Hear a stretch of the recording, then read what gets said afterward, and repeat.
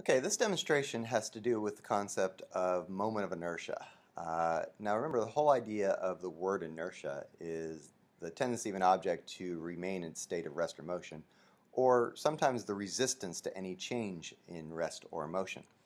Um, in this case, though, moment of inertia has to do with more with something that is turning or rolling.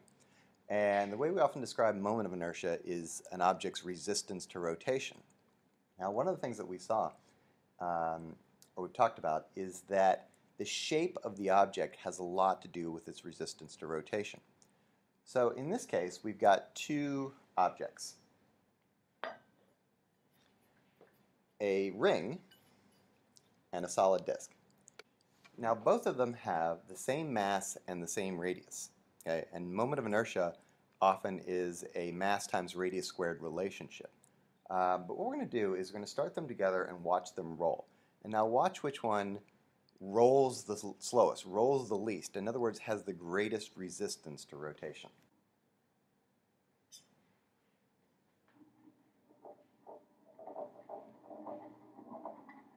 So as you can clearly see there, uh, the disk rolled much better than the ring, even though they have the same mass and radius. Now you might would think it was the opposite.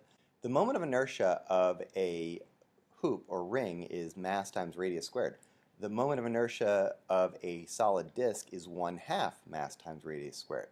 So the solid disk has 1 half the resistance of rotation, way of looking at it, than the ring. So that's what moment of inertia has to do with, an object's resistance to its rotation.